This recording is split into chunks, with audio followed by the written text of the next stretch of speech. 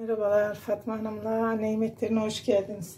Evet bugün güzel böyle kahvaltılarda işte beş çaylarını ikram edebileceğimiz güzel e, harika doyurucu lezzetli bir sos tarifi vereceğim. Basit bir şey. Burada 3 kilo kadar salçalık domatesim var. Burada 1 kiloya yakın birazcık 1 kilodan az yeşil biberim var. İnce kıl biber acı istiyorsanız öyle yapabilirsiniz. Ben karışık doğradım. Burada kırmızı biberim var 1 kilo. Ee, yarım demet maydanoz kullanacağım. Dereotu da kullanabilirsiniz. Çok yakışıyor. Birer çay bardağına yakın sirke ve sıvı yağım var. 8-10 tane geçkin sarımsağım var. Yine bir yemek kaşığı toz şeker ya da 8 tane kesme şeker kullanabilirsiniz. Ve şöyle dolu dolu yemek kaşığıyla bir yemek kaşığı kaya kalın tuzum var. Şimdi öncelikle ben buraya her şeyimi hazırladım. Önce domateslerimi robotta bir çekeceğim. Güzelce bunları biraz suda beklettim. Sonra birkaç defa yıkayıp süzdüm ve domateslerimi dörde böldüm. Hiç kabuklarını e, soymadan, yerlerini ayırmadan. Şimdi bunları bir çekeyim. Şöyle. Evet domateslerimin sonuncusunu yapıyorum. Kabuklarını falan soymama gerek kalmadı. Gayet güzel bakın. Şimdi bunları hep tencereme alıyorum. Şimdi tenceremin altını yaktım. O olurken ben burada kırmızı biberlerimi de şöyle çok ezilmeyecek şekilde çekeyim. Hem lezzet versin hem daha koyulaşmasını sağlasın. Evet biberlerimi de çektim. 1 kilo kadar kırmızı biberimi. Onu da şöyle bir kaba alacağım. Biraz sonra ilave edeceğim domateslerimin içine. Şimdi maydanozlarımı da doğrayacağım diye uğraşmayacağım.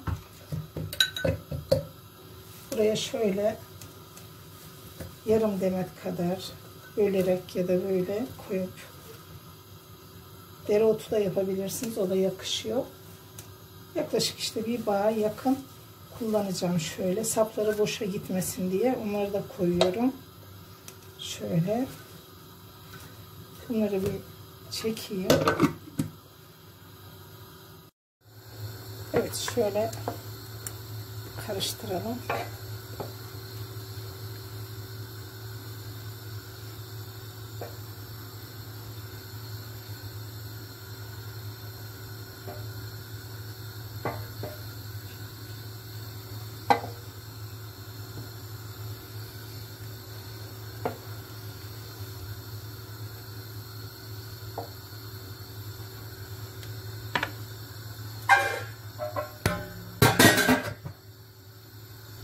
Kapağını kapattık. Biraz daha böyle kontrollü bir şekilde ara sıra karıştırarak kaynatıyoruz. Kapağını alıyorum artık. Şöyle içine yağımı sirkemi şöyle biraz karıştırayım.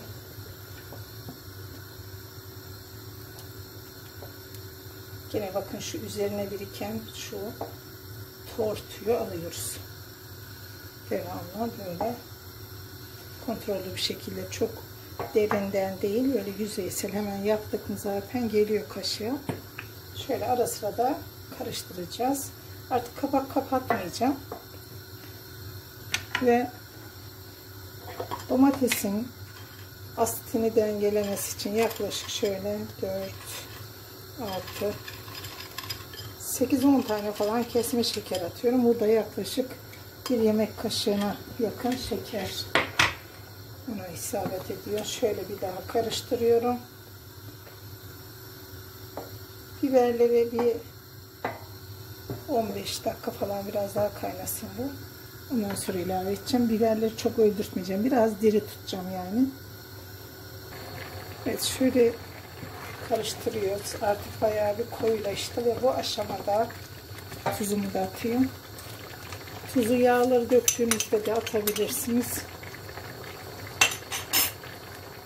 Şöyle balkonluk biberi ben bunlardan ilave ettim.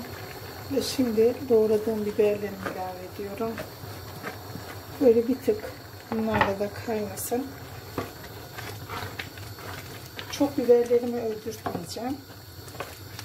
Pişmeyecekler yani birazcık böyle diri kalacak. Bir 10 dakika falan kaynasın. Daha sonra maydanozunu ilave edeceğim. Evet şimdi artık maydanozlarımı da son anda ilave ediyorum. İster doğrayayım ister çok parçalamayacak şekilde robottan çekin ben çok parçalatmadan hemen böyle bir tık basıyorum o kadar şöyle ve bunu da şöyle bir karıştırıyorum artık. Ocağımı kapatacağım. Bu sıcaklıkta bunların pişmesi yeterli. Şöyle. Şimdi şöyle bir kaba katıp göstereyim ben sizlere.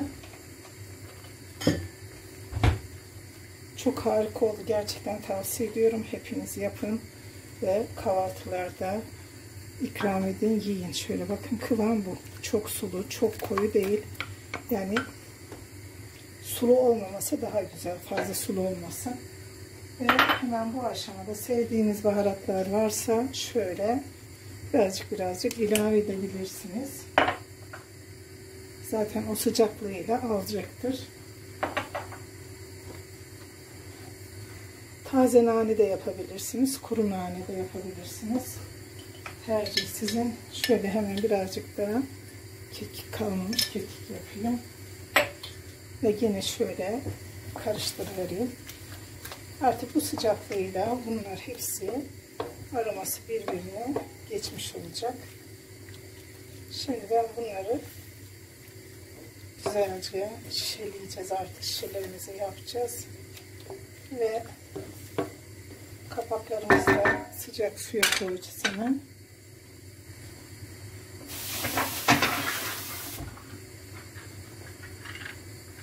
Evet artık soslarımızı şimdi şişelerimize dolduracağız. Öncelikle şöyle bir 2-3 şişe yarım litrelik var.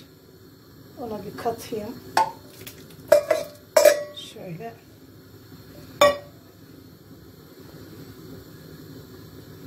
Kenarlarını güzelce siliyoruz. Ve yanımızda bulundurduğumuz sıcak suda beklettiğimiz kapaklarımızdan alıyoruz hemen. Yine onların da içini dışını siliyoruz ıslak kalmasın diye. Ve hemen sıcacık bu kapakları şöyle iyice bir sıkıştırıyoruz. Şöyle ve hazırladığımız bezimizin üstüne ters çevireceğiz. Şöyle hemen koyacağız. Hepsini aynı işlemi uyguluyoruz. Şimdi bunu da yapayım. Yine aynı şekilde kavanozlarımızı daha önceden yıkadık ve kullandığım kavanozlarım olduğu için haşlamış e, yeniden yıkama, kaynatma işlemi yapmadım. Şöyle gene bunu da güzelce sıkıca şöyle iyice elimizi yakmayacak şekilde dikkat ederek sıkıyoruz ve bütün kavanozlarımıza aynı işlemi uyguluyoruz. Şöyle bunlar hep aldığımız şeyler turşu ya da garnitoros kavanozlar yıkadık ve kullanıyoruz. Evet artık tencereden e, kavanozları aldık soslarımızı ve sıcak sıcak şimdi yaklaşık yarım kilodan 3 tanesine kattım. Küçüklere de 6 kavanoz şöyle bunları kapatıyorum. Bir gece beklesinler şöyle güzelce sıcacık. Ertesi sabah açıyoruz, bakıyoruz, kontrol edip kaldırıyoruz. Evet artık bir gün beklettikten sonra şöyle üzerlerini açmaya başladım ben. Son anda çekeceğim aklıma geldi. Şöyle bakıyoruz.